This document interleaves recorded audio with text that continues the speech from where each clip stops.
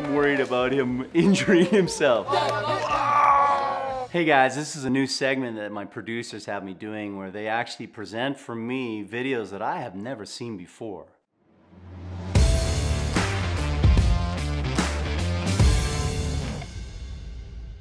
To find out, we brought together five men and had them rank each other based on their perceived strength. Then, we put them to the test to reveal their actual strength.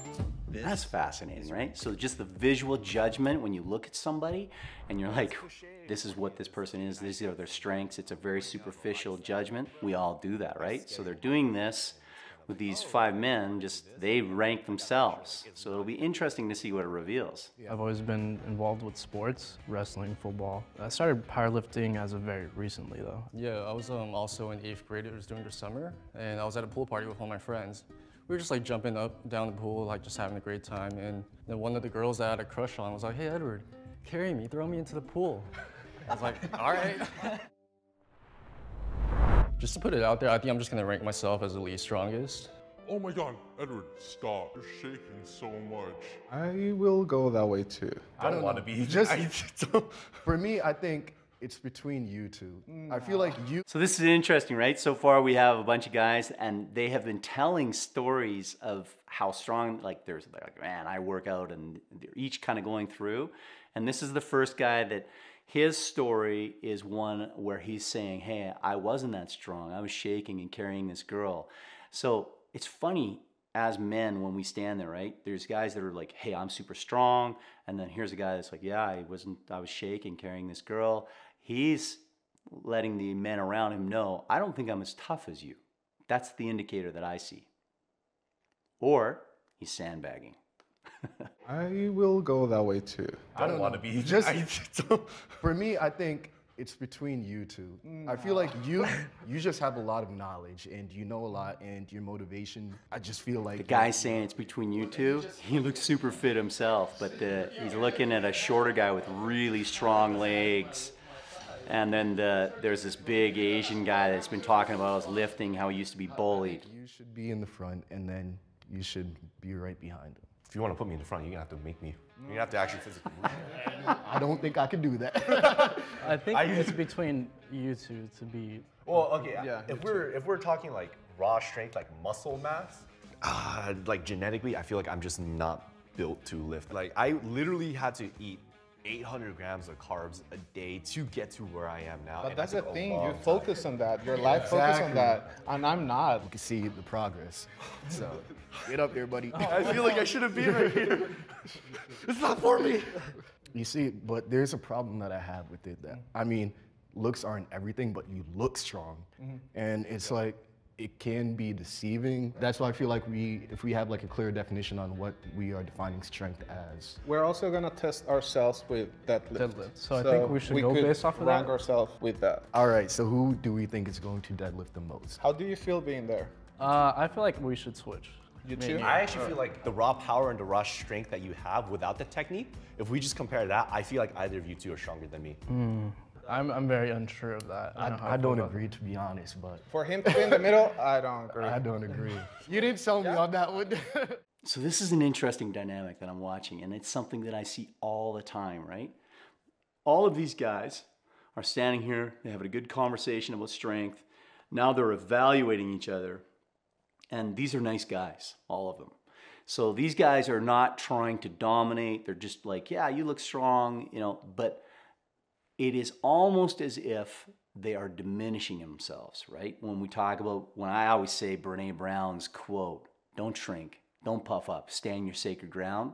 I don't feel like these guys are standing their sacred ground.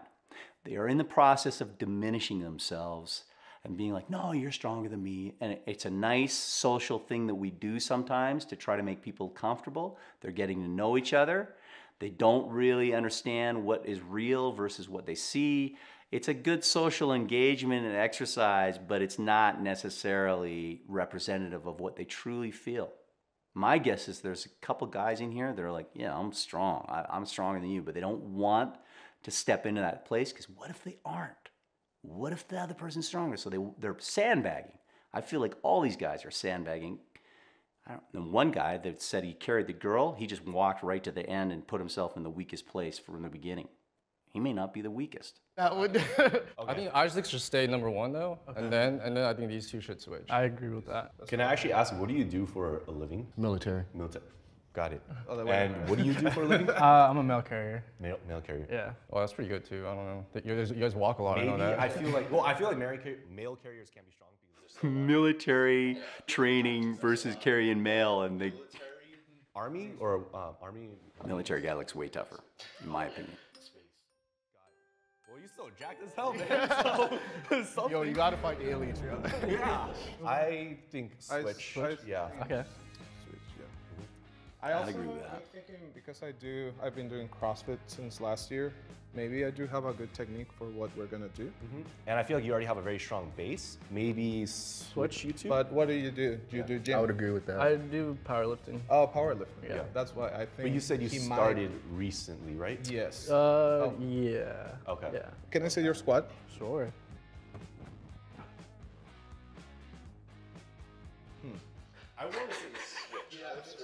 They're checking form. This the guy that's the shortest. He's very fit looking, and he put himself second to last, and now he's bringing himself up because he doesn't want to be. Um, Got a crack in there, like that. I just want to add like a 10. Okay. Yeah, I think that's my max right there. Wait, is this about to be a PR? I've only done this once before. Hey, you're about to do this second time. Yeah. Take your time. Let's get it. Let's get it. Yup. Lock in. Come on. Lock in. So Edward, who is the considered the weakest guy in the bunch, just um, deadlifted 315 pounds. He believed he could only do 290. And now the shortest guy, who has been like, he looks really strong.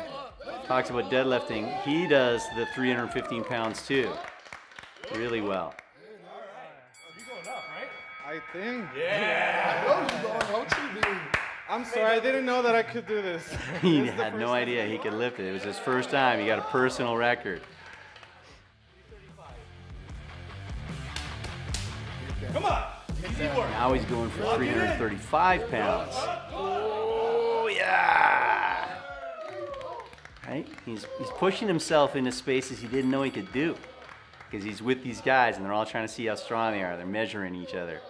It's kind of cool how it lifts you, right? Because they're being supportive. It's cool how that group mentality where they're helping each other, and now they're just all behind him and they're like, "Keep going, man, keep going." I love it. They're building each other up. 345 pounds. His personal record was 315. Whew. He did it. Wow.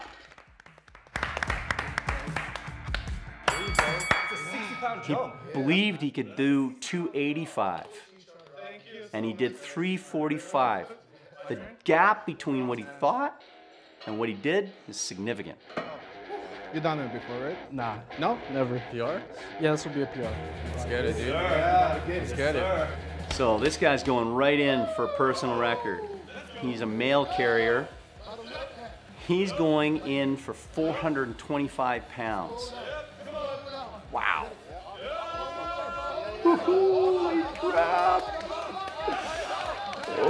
Gosh, he lifted it, but that was not good form. I'm worried about him injuring himself, but he did it. Weird to say. Crazy. Thick back.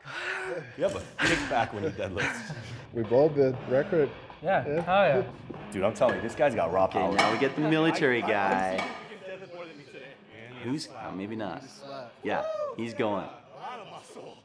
He's strong looking. He's going for 475.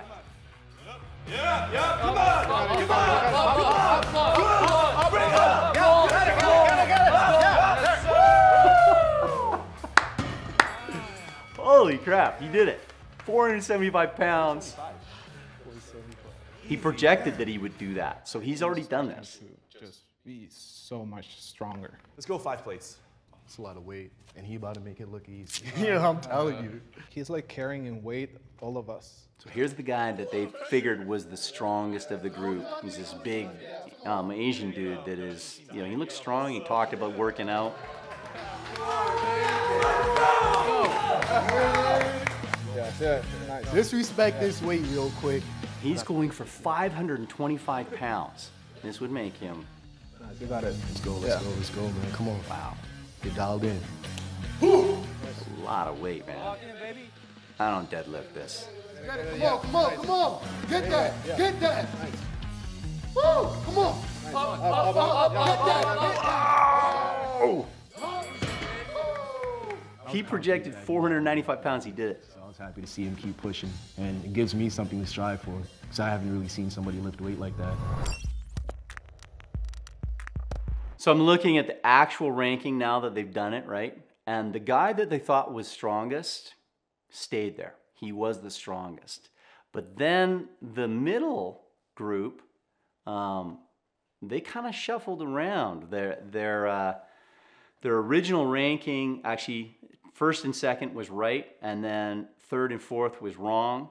And then the guy that was talking about him being weak, he was the weakest, I guess. It's astonishing to see that they actually did pretty well. They really only had one mistake um, because the short, strong looking guy, he- he's shorter, his leg muscles are so big, I think that maybe they started feeling like, uh, you know, he was stronger than that. But he is uh, not as strong as he looked. But what's really interesting, honestly, with this whole process is as these men met and began talking about who's strong, these are good guys, they were building each other up. They were kind of, hey man, you look strong, and they're doing all this thing. The guy that's the weakest, he pulled himself right out of that. He did not engage, he immediately put himself as the weakest, and sure enough, he was. He walked right to the mat. And then the other ones, they all achieved greater things lifting than they thought they would. They're, they had projected lifts, and all of them lifts to substantially above that capacity. Even the guy who was weakest lift far beyond what he thought he could do. And that comes from that support, that willingness to look at each other in a group and say, man, you look strong. You're, you're strong looking dude. I think you can do this. And that mindset shift, building each other, it's, it's incredible the power it has. In fact, did you know that if you are standing in a room, I've done this at uh, clinics many, many times when I'm, when I'm teaching leadership teams, I'll bring somebody to the front of the room and I will literally just have them put out an arm and I will tell everyone in the room to think a negative, like something negative about this person, and the arm will just collapse. And then I will say, put your arm up and have everybody think something positive, and that person's arm will stay strong. And this is what we're seeing here as these guys are building each other. And the off uh, or the side effect of it is they all lifted more than they actually thought they could. It's a powerful thing. We are so connected, and you're seeing these guys bond and connect and lift. And I love to see that. I love to see people that can lift each other in this way and benefit um, from their association. That's what we're meant to do, right? We're meant to be good to each other, lift each other, inspire each other, not beat each other up. So, whatever your judgment is, once you have it, let it drop. Become curious and then see what reality is. And it's okay to hold both of those. And these guys did a great job of demonstrating how that's done in a fun game of strength. But you can do this with how you meet everybody. Go ahead and look at them, imagine how strong they are or what their spaces are. Let those judgments drop, get curious, and see how they truly measure up. See how accurate your perceptions are. And the next video that you should watch is how I unlearn dangerous um, lessons from toxic masculinity. Now, this is a good example that is a good contrast to that. I'd love to hear if you've seen examples of good masculinity in your life where you have felt like the guys around you or the people around you have lifted you to something better than you thought you could do. And how you can then use that in your life to lift those around you. Like, subscribe, check out this video, The Lessons I Learned on Toxic Masculinity. It's coming up next.